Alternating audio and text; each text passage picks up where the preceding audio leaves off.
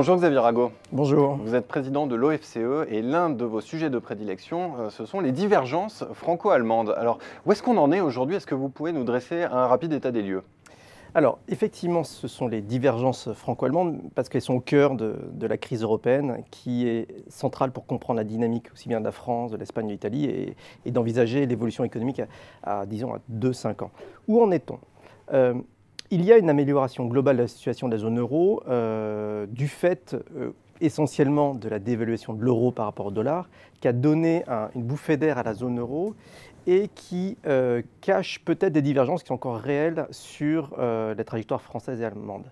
Donc je suis de ceux qui soulignent la nature encore très profonde de ces divergences. Et il est loin le temps où il faudra les, minimiser. Quelles sont-elles? Bon, on sait aujourd'hui qu'on peut prendre les quelques grands déséquilibres.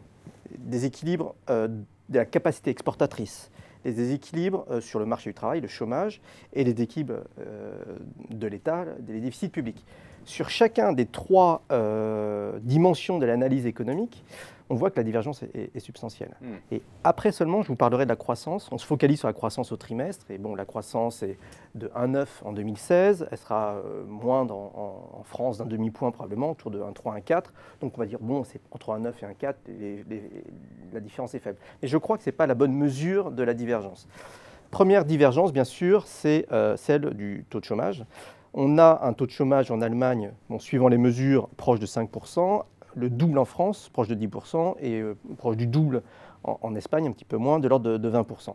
Euh, donc d'où viennent ces divergences sur le marché du travail et euh, qui sont plutôt des conséquences d'évolution économique que les causes elles-mêmes?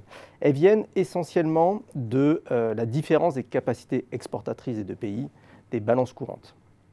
Ce qu'on appelle en France, la désindustrialisation, c'est en fait euh, la divergence des balances courantes, donc euh, des capacités exportatrices des pays, hein, parce que les exportations qui sont l'essentiel de la balance commerciale, qui est une partie importante des balances courantes.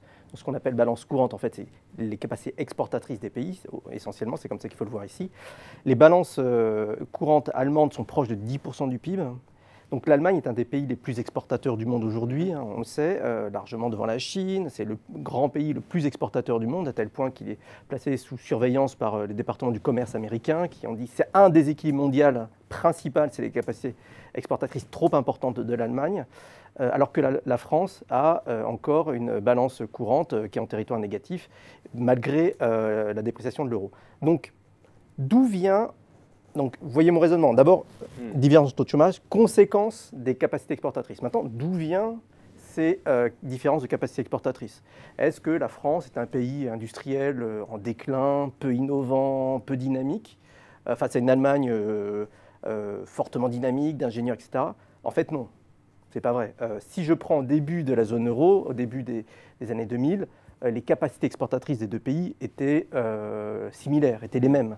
Donc l'essentiel de la divergence, qui est aujourd'hui euh, une des plus grandes depuis l'histoire d'après-guerre, provient de ces dix dernières années euh, de la zone euro.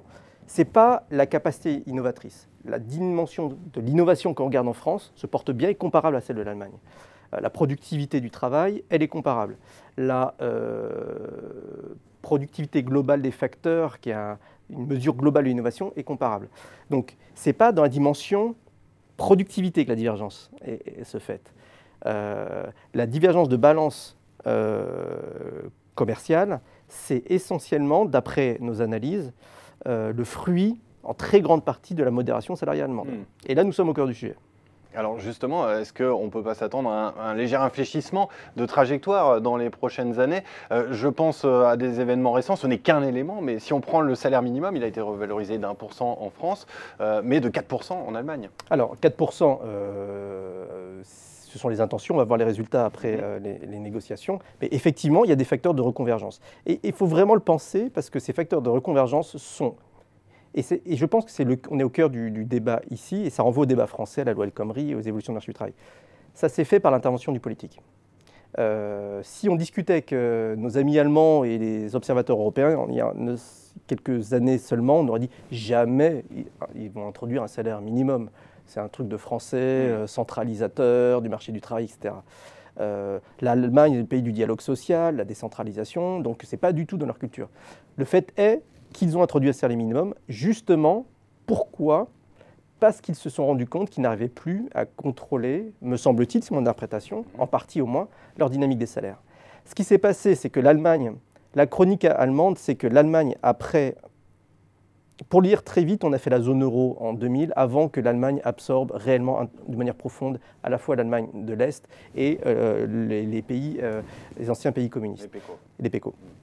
Donc ils ont commencé leur modération salariale avec une euh, négociation des salaires au niveau de l'entreprise, ce que certains ont appelé la loi Hartz 0, hein, puisque c'était quand Hartz, le négociateur, était chez Volkswagen, qu'il a introduit ces, négociations au niveau de l'entreprise.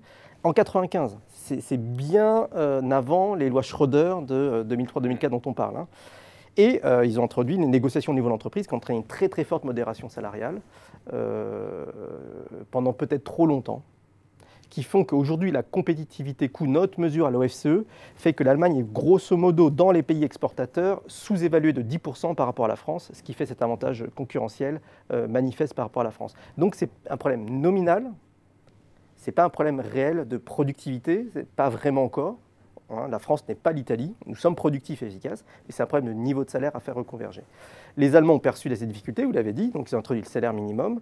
Euh, on essaie de faire de sorte que, je vais vous dire avec mes mots d'économiste, parce que euh, ça renvoie au débat actuel, on essaie de faire de sorte que ces différences nominales sont, euh, soient corrigées par, euh, dans un premier temps par les mécanismes de marché. Quand le chômage augmente, ça fait baisser les salaires, et quand le chômage diminue, ça fait augmenter les salaires. Mmh. Ce que les économistes appellent la courbe de Phillips.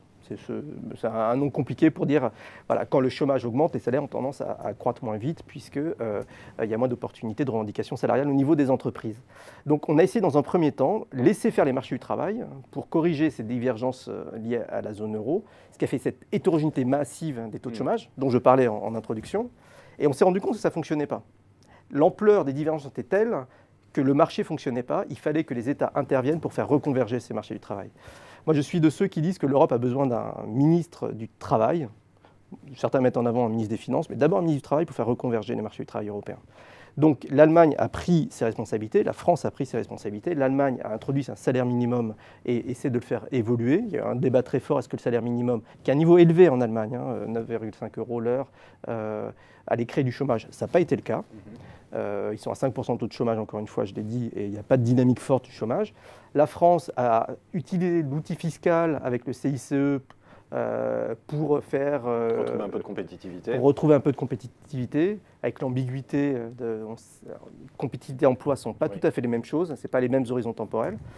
Donc il y a une réinstitutionnalisation du marché du travail entre les deux pays qui, qui permet une dynamique de reconvergence.